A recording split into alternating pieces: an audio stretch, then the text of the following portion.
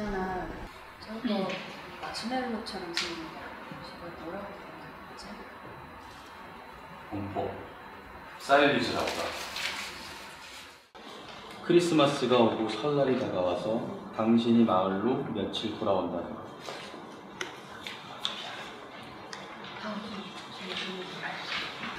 불면증일까요? 그렇다면 그녀에게도 말해볼까요? 세상에서 가장 긴 역사를 가진 야행성 정조직. 여기 good night 클럽으로 들어와요. 근데 책방 이름은 왜 부르냐고? 책방 이름은 왜 굿나잇이야? 묻는 그녀에게.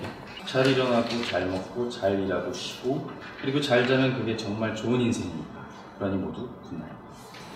good night 아이인데 그 아이는 어, 쟤야 내 동생. 친동생. 그 불면증 있거든. 나도 있고 더 줄까? 저는 망했습니다. 혹시 모르는가?